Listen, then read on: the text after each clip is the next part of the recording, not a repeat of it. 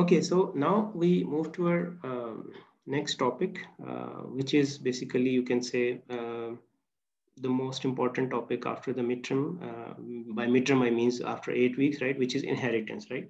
So just like uh, I keep telling you that um, key object-oriented concepts in the first eight weeks are composition and operator overloading rest of the topics we have seen they are supporting topic right? Which actually support these. For example friend function is supporting operator overloading but the core concept are composition and operator overloading. Similarly in the second half of the semester inheritance is you can say the core topic right? And the second core topic is polymorphism which is actually related with inheritance. And as i keep telling you uh, whenever you appear for an interview whether for higher studies or uh, for a job uh, right so typical questions are from composition, operator loading, and inheritance, right? Someone would ask you what is inheritance, right? And of course, some other details which I'll, I'll tell you in a while, right? So what inheritance is, uh, let's uh, discuss in detail. Again, uh, today we'll mostly be focusing on the conceptual layer, right? Uh, I will try to keep the programs to as low as possible so that first we understand it conceptually and then we convert our knowledge into a computer program right? So, okay, I'm sure other than programming, uh, you must have heard of this terminology in your daily life as well, right? So can you tell me uh, the simplest uh, meaning of inheritance, either in English or Urdu, any, any synonym of inheritance? And inheritance, uh, what, what do you think inheritance is, right? you, you, you can also unmute yourself and tell, or you can also uh, uh, type it, right? Okay, one suggestion is to adopt. Uh, partially, yes, but can, can, can, we can we have another synonym? You, you can even tell a synonym in Urdu, right? विरासत हो सकती है Sorry? Sir विरासत जो हाँ जी very good जो inheritance की अगर आप उर्दू ट्रांसलेशन करें ना इट इज़ विरासत ठीक है एंड विरासत में क्या होता है कि basically there are different generations right? Maybe this is generation one, then there is another generation, okay, and then the next generation. So you see, um, they have some assets, okay? This is generation one, generation two, generation three, ठीक हो गया सो so, जो assets हैं वो इस generation से इस generation को ट्रांसफर हो जाएंगे ठीक है ना एसेट्स क्या हो सकते हैं फाइनेंशियल uh, एसेट्स हो सकते हैं इट कैन बी कोई uh, can be something like कोई घर हो सकता है कोई प्लॉट हो सकता है कोई व्हीकल हो सकती है right and similarly this um, from G2 they will move to the third generation and so on ठीक हो गया so basically this is the concept of inheritance we have in our uh, real world right so yes um, almost all of you what you are saying is correct right something we get from our forefathers or uh, children get something from their parents right and you see inheritance is not uh, only in terms of asset, it is also in terms of genes, as one of your uh, colleagues suggested, right? For example, color of eyes, color of hair, these are also things which are inherited, right?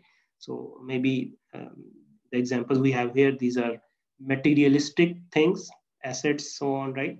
But there are also genetic uh, things which are inherited, right? Sometimes if there's a disease common in the family, so when you go to a medical expert, they first ask you, uh, did anyone in your family has this problem? You see, so that is also inheritance, right? So good, I, you, you are familiar with the general idea of inheritance, right? Okay, so that's fine. But now in programming, we don't have any genes or we don't have any plots or um, or Ghar or anything, right? We have classes. अब class के पास क्या है class के पास दो ही चीजें हैं one is data the other is function right it has no plots no no property no genes anything so when we are talking about inheritance in classes or programming the only thing which can be inherited is data and functions right so conceptually if we replicate the concept of inheritance in programming so we say we'll have a parent okay and since it is a class so we can call it a parent class just like we have a parent or a father or uh, you can say a generation and then you have a child it is a child but it is a class, so you can call it a child class, right? So this is the parent class and it will have something. That something is what? Data and functions. This is the child class, okay? Child class, maybe it has something of its own as well, right? Child class will have its own data, own function, just like an individual can have his own, own property. But at the same time, whatever the parent has, it is also inherited here. Okay, so it means it has something of its own and it is also getting things from its parent, right? So this is basically the idea of inheritance, which is very much similar to what we have in the real world. And how do we represent inheritance visually in UML diagram? Just like for composition, we use this diamond. Okay, we connect two classes with diamond in inheritance, you see, you will have at least two classes, a parent and a child, at least. You can have more as well, right? But at least. So for uh, in order to represent this inheritance, we use the arrow symbol, okay? And the arrow is pointing from child to parent, okay? So if it is the child class and it is the parent class, you connect them by an arrow, which is pointing from child to parent. And this is called, this arrow actually means inheritance. Of course, we'll see low level details later. At, at present, we are only at the conceptual layer, okay? So, so far, what do we know? We know that um, there's, a, there's a parent class, there's a child class, and when we do inheritance, um, the child will inherit something from the parent, okay? And what is that something? Um, it can be data and functions because these are the only two things which a class has, nothing else, okay? But of course, there are many other details, what can be accessed, um, what about access specifier. We'll come to those details later. The next thing we learned is that if you want to represent inheritance in a UML notation, you use the arrow. Right? Arrow is pointing from child to parent, which shows that there is an inheritance relationship between uh, these two. Okay. Now, when we talk of inheritance, it is very easy to mix it with composition. Okay, so I'll actually compare both of these. Okay, because in the beginning, um, some of the students find it difficult to uh, discriminate between these two.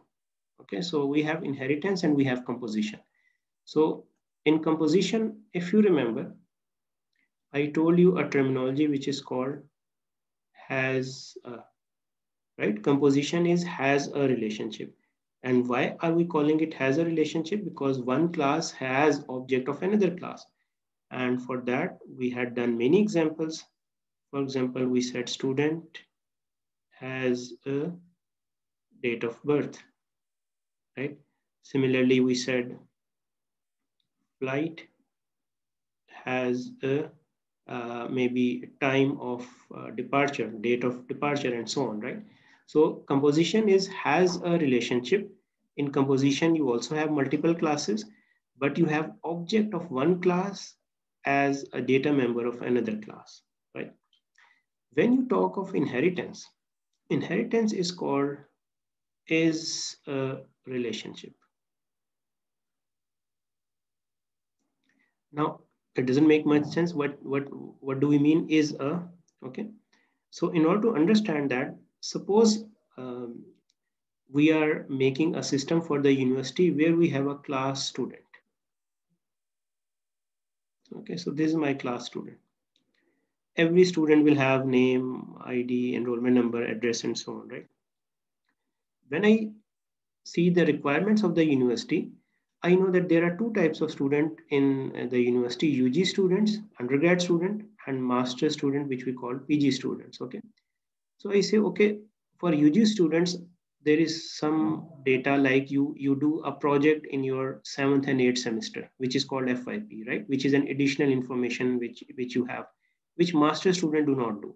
Master student, they do something else, which is called research. Okay. So I say, okay, in my system, I will also have, uh, I have a class student, but maybe I have a separate class for UG students and I have a separate class for PG students. Okay, and you see um, all the attributes of a student, UG student also has those, right? If every student has a name, UG student also has a name. PG student also has a name, but UG student will have some additional data like uh, FYP or internship or something else, right? Similarly, PG student will have some additional data which UG student and UG student do not have. So you see, uh, just, just ignore the low level details. Can I write this that, sorry, UG student is a student. Yes, it is true. Every UG student is also a student. Every PG student is also a student, right? Similarly, let's do some more, you can say easy to follow example. Suppose we say vehicle. So vehicle can be a car, vehicle can be a truck or a jeep. So you see, these are all different types of vehicle. So you can say every car is also a vehicle.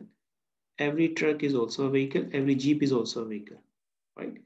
Similarly, um, you, can, you can have some more examples. Um, let me think of something. Yeah. Suppose in a company you have employees. Okay. So employee can be a faculty member.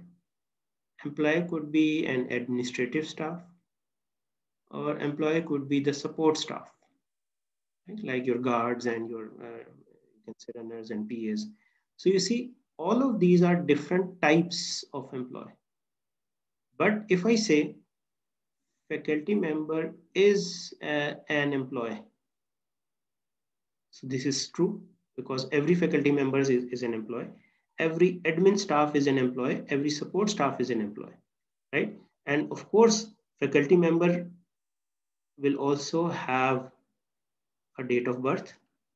Okay, so you see this date of birth is composition, this is inheritance. So in inheritance, basically we are talking about different special types of something which is more generic, right? I'll give you some more examples in the slides, right? I'm just trying to build the idea. So if, if for example, I represent this information uh, by a class diagram, right, for, for only faculty and uh, you can say employee. So you see, we have a class employee we have a class faculty member. Every faculty member is an employee. So I can do inheritance and faculty member has a date of birth. Right. Similarly, employee can also be um, staff. Staff also has date of birth. So you see our class diagram is growing, but it is growing very logically. It makes sense whatever we are doing. Okay. So in short, inheritance uh, is basically when you have a generalized class and you have specialized types of that class. Okay, this is just as a conceptual layer. Now let's see some more examples so that we, we get the idea that how actually uh, this works, right? So as I told you that uh, composition, which we have seen previously is called has a relationship. For example, employee can have name, ID, salary, and date of birth. So since date of birth is likely to be a class, so that's why we treat it as composition, right? On the other hand, when we are talking about inheritance, it is type of, kind of, or is a, you, you can call it anything, right? Um, kind of, type of, but mostly we use the terminology is a relationship, right? So as I had given you an example, if there's a general category of employee, so an employee can be a laborer, a scientist, a manager, or an engineer. All of these are actually different types of employees or different kinds of employees, right? And we can say every engineer is also an employee right? So that's why it's it's important to uh, you can say understand the difference between is a and has a, right? So as I told you, if we are talking about inheritance, so we can say car is a vehicle, which is true. Every car is a vehicle, right? But when you say car has a steering wheel, right? So this is actually composition, right? Because we are talking about uh, has a relationship. Okay, now let's see some, some more examples from the real world. Uh, suppose uh, we have something generic, we say electronic item. So electronic item can be anything, right? So we say, okay, we are talking about two things, uh, phones and sound systems, which are actually types of electronic item. Then phone could be a mobile phone or a cord phone. Similarly, sound system, it can be earplugs or stereos, right? So you see, as you go up, you have more generalized classes or objects, whatever you want to call them. And as you go down, you are getting more and more specific. Now, within the mobile phone, you can say, okay, uh, traditional keypad or touch touch screen. Okay, so you can you can have more types. Similarly, within stereos, you can have multiple types and so on. Okay, so this when we'll be implementing it, So this is like the parent class and this is like the child class. Another term for parent is base class or super class, right? You can call it anything, but mostly we use the term parent or base class, right? Similarly, for the child class, uh, this is sorry, child, you can call it a child class or basically another term is derived class, right? So we say parent child, you can use this pair or you can use the pair base and derived. Okay, and when you are talking about mobile phone, so for mobile phone, this is parent actually. Okay, this phone would be parent of mobile and in this case, mobile would be child class. But of course, if you have some other classes, then mobile would be parent of those classes. Okay, so it is just like you have in the real world. So you can also say that this electronic item is actually a grandparent of this mobile phone, which is true, right? So it is exactly the same hierarchy which we follow in, in, in, in the real world, okay? Now let's see another example. We can have a class uh, like mammals. Mammals can be cats, dogs, and humans. And within the cats, we can have different uh, types like lion, tiger, or leopard. They're all different types of cats. So this is again a real world example of inheritance. Some examples from uh, geometric shapes, right? Uh, shape can be a 2D shape or a 3D shape. 2D shape can be a circle, square, triangle. Similarly, 3D sh shapes can be a cube or a sphere or a tetrahedron, right? So this way, you can actually think of many different uh, classes, right? Student, as I told you, UG student, PG student, shape, circle, triangle, loan, right? Loan, loan and banking. This is a very good example. Uh, when you go to a bank, there are different types of loan, personal loan, car loan, home loan, mortgage loan, right? Similarly, for an account, you can have a saving account or you can have a checking account. Uh, in, in, in one type, you get the profit, in the other, there is no profit and loss, right? Something like that. So you see, these are different uh, examples of uh, what you can find in the uh, real world, right? Okay, so maybe uh, now I'll, I'll seek some feedback from you before we move further. So can you give me some real world examples of inheritance other than those which I have told you? can can can you just uh, look around and give me one or a couple of examples of inheritance in the real world other than those which we have already discussed and you please think a little and share your thoughts if uh, if you can think of some examples uh, of inheritance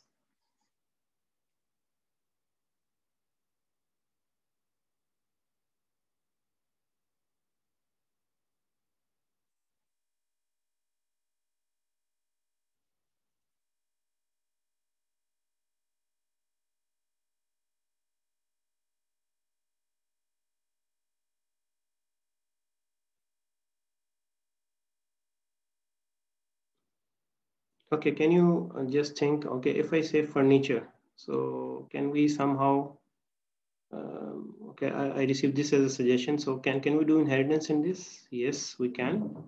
Any suggestions? Yes, please. Furniture could be, we can say home furniture, or it could be office furniture, right? Similarly, in home furniture, you can have uh, like um, living room furniture, bedroom furniture. In office, you can have conference uh, chair, office chair, and so on, right? So you see, again, uh, there's a hierarchy in which you have something generic on the top, and as you go down, you are getting more and more specific, right? Okay, another suggestion from uh, one of your colleagues is appliances. Yes, very good. Appliances. Uh, appliances could be like home appliances, or you can say uh, you can have different categories of appliances which you can uh, make more and more specific as you go down in the tree. Okay, uh, then you have, we have another suggestion, uh, machine, washing machine, juicer machine, yes, that, that's perfectly fine. Uh, food, yes, food can be. Uh, then we have seed, flower, fruit, vegetable. Um, yes, to some extent, yes, we can implement it with inheritance but maybe it would be slightly tricky uh, to implement it like this. Okay, one important thing is that uh, you see, maybe you're talking about this, okay? So if I say uh, brand, okay, so you can say, okay, maybe um, so it is better that not to do inheritance like this. Why? Because you see, this brand is actually a data member which will have a value. So whatever the brand is, you can you can put it here. Okay, so rather than this, a better you can say this is okay. This is syntax. This is fine. Okay, uh, this is not incorrect. But an improved design could be that rather than going for this, okay, you can say uh, it can be a keypad or it can be a touch screen. Why I'm saying this? Okay, because uh, maybe it is better to or it is easier to understand from a different example. Suppose we have a class car. So if you say car and you make two uh, child classes based on the brand, say maybe we pick two common brands. Okay, so actually um, syntax wise it's okay, right? But a better you can say distribution could be you can say sports car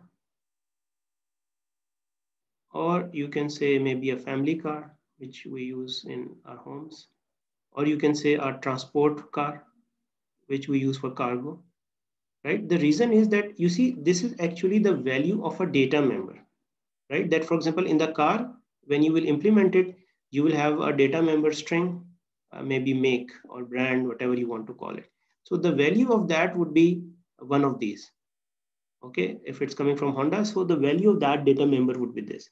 So although it is okay, right, but I would suggest that try to think in this term where you have categories, right, that there's a type. So you can say Honda and Toyota, these are types, but you see these are actually two different makers who would be making similar cars with different designs. And most of the attributes are likely to be same right? They are comparable in terms of prices and engine power and other features. So uh, it's, a, it's, okay, but I would appreciate if you think in these terms that what are the different types of cars, sports car, family car, a car which we use for transportation, because this would give you a, a better design, right? And of course, in the data members, you can have uh, the values which are capturing the information of the brand or make or model or, or, or anything you like. Okay, then uh, we have a query which is, uh, I think, similar to this one that uh, can juicer machine be a parent class if we make brands child classes uh, such as Haier LG? Yes, this is exactly what I'm saying that um, syntax wise you can do that, but uh, practically I would say that uh, do not make child classes based on simply the brand. It is like that you have a class student, right? Every student has a different name.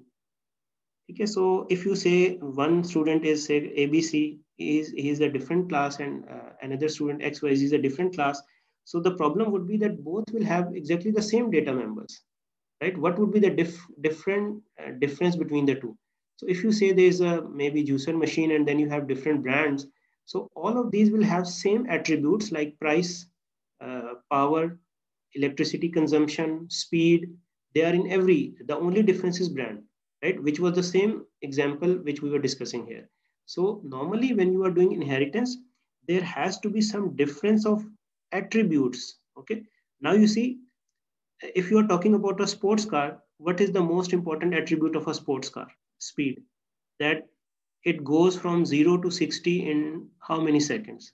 ठीक है ना sports car में तो we we सी ये चीज देखते हैं कि कितनी जल्दी 100 माइल आवर्स पे पहुंच जाएगी फैमिली कार इसमें what you will see engine capacity कितने लोग इसमें आ सकते हैं ठीक है फैमिली कार का ये एट्रीब्यूट होगा।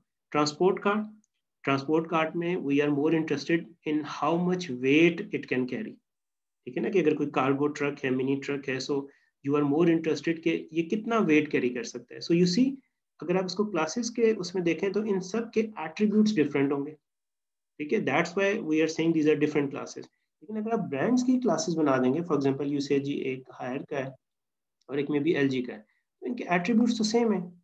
Right right? कि इसमें भी आपको प्राइस चाहिए वेट चाहिए स्पीड चाहिए इसमें भी वही चीज चाहिए so that's why this will this can be syntax wise correct but it would not be a very good design right so it's always a good idea that you think in terms of uh, in, in terms of you can say um, uh, types rather than brands right okay then we have uh, another suggestion food can be junk and healthy um, well if, if there's a there's a class say uh, then what are the attributes which are different in uh, junk food and healthy food. If you can identify some attributes which are different, then this is okay, right? Because I think that, for example, food make attributes to certain calories, right? That how many calories are there. Um, this, this, this, is, this is what I can identify as an attribute. So this attribute can be common both in junk food and healthy food. So can we identify some attributes which are different in junk food and healthy food? If we can, then you can do inheritance. Okay, so the simplest rule is जब भी आप inheritance कर रहे हैं तो जो आपने different types बनाई हैं उनमें कुछ ना कुछ एट्रीब्यूट्स डिफरेंट होने चाहिए if you can think of it it is a valid example of inheritance if you can't think of it then uh, it, it is not you can say a valid example of inheritance right i think we can now uh, conclude for today